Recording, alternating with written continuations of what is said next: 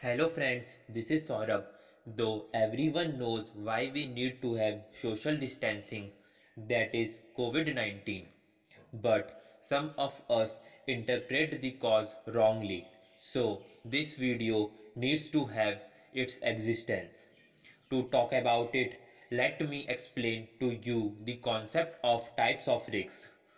For the simplicity of explanation, let's categorize the risk into two types First, financial kind of risk. Say, with expected return of 10% and standard deviation of 4%, there is approximately 68% chances that you will end up getting a return of 6% only. But basically you can somehow quantify the loss involved in a risk.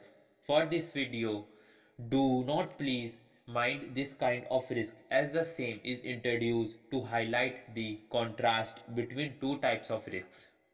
Second type of risk is where your probable loss is so high that no matter who you are, you cannot afford to have such risk. Say you are a seasoned driver and at a speed of 160 km per hour on a particular highway, your chances of meeting with an accident is almost negligible. But you might not drive above 120 km per hour as the loss of meeting with the accident may very well be the loss of your life. Social distancing is on for managing this kind of risk.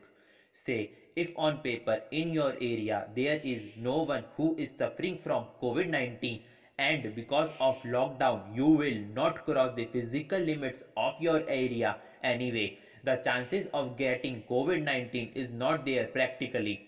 But as I say, on paper, there could be a person in your area who is suffering from COVID-19 and you can get COVID-19 through that person if you are not practicing social distancing and you know the risk of having COVID-19.